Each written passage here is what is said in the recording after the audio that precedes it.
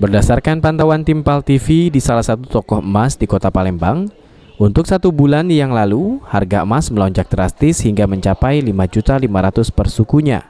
Akan tetapi dalam satu minggu belakang, harga emas mengalami penurunan hingga Rp500.000 menjadi 5 juta rupiah per sukunya. Ketidakstabilan harga emas hingga akhir bulan Desember 2020 saat ini dipicu akibat harga emas dunia melonjak naik.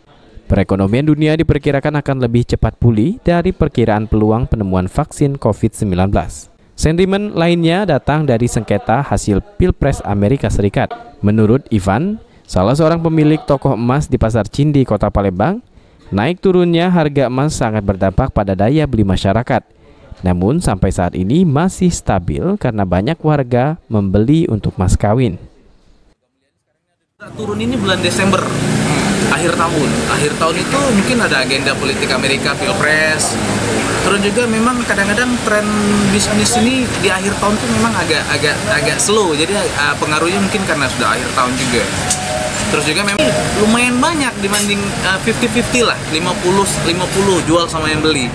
Yang beli kebanyakan untuk mas kawin karena kan uh, bulan 2, bulan 3 itu udah mulai banyak nikah kan istilahnya. Jadi udah rame-rame itu beli untuk mas kawin. Rata-rata yang beli mas kawin. Jadi, nah, nah jadi di Abidin Riwanto, Pal TV. Sudah mulai daftar sekolah nih, uang berburu. Kalau belum daftar agak penuh kan.